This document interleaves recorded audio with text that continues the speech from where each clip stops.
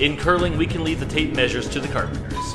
When you can't tell which stone is closer, you can bust out the micrometer. It's a giant pressure gauge where the closer stone will reveal a higher pressure. In this case, we had 88 and 17. That was red, so one red.